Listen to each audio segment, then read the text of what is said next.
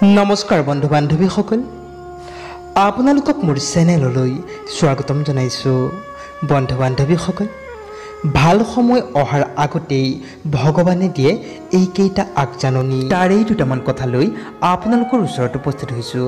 সেয়েহে বন্ধু বান্ধৱীসকল যিসকল লোকে এতিয়াও মোৰ চেনেলটো ছাবস্ক্ৰাইব কৰা নাই তেনেহ'লে সোনকালে ছাবস্ক্ৰাইব কৰি দিয়ে যেন আৰু লগতে থকা বেল বুটানটো টিপি দিব যাতে মোৰ নতুন নতুন ভিডিঅ'সমূহ আপোনালোকে ন'টিফিকেশ্যনৰ দ্বাৰা পাই গৈ থাকে।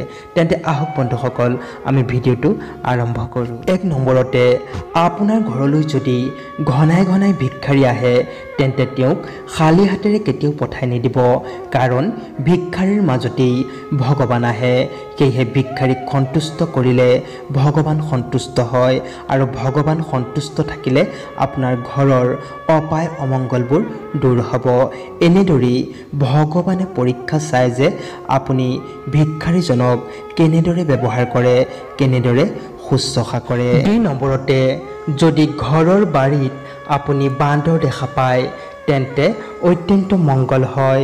সেই বান্দৰক কিবা নহয় কিবা এটি বস্তু খুৱাই প্ৰণাম কৰিব। এনে কৰিলে হনুমানজী সন্তুষ্ট থাকে আৰু ভক্তক দুহাত ধৰি আশীৰ্বাদ প্ৰদান কৰে। লগতে ঘৰৰ সুখ শান্তিও সমৃদ্ধি বৃদ্ধি হয়। কাৰণ বান্দৰ হৈছে ভগৱান শ্ৰীৰামচন্দ্ৰৰ দূত। গতিকে ভগৱানে এই বান্দৰক পঠিয়াই আপোনাক পৰীক্ষা চায়।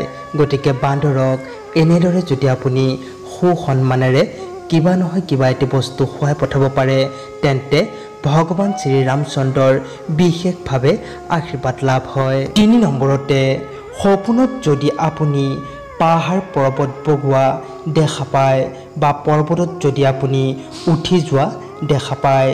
তেন্তে আপুনি জানিব যে আপোনাৰ জীৱনৰ বেয়া সময়বোৰ পাৰ হৈ গৈছে আৰু ভাল সময় আগমন ঘটিছে।